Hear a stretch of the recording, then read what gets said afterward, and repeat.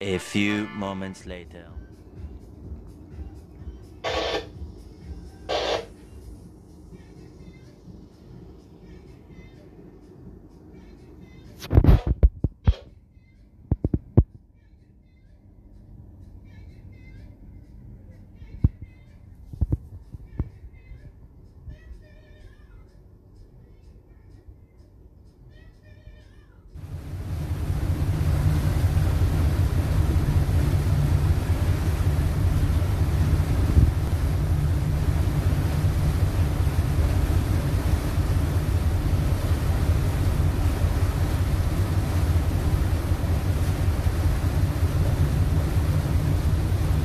Ayan po yung boat na sinasakyan namin yung mga guests dyan. Dinadala namin dito sa cruise.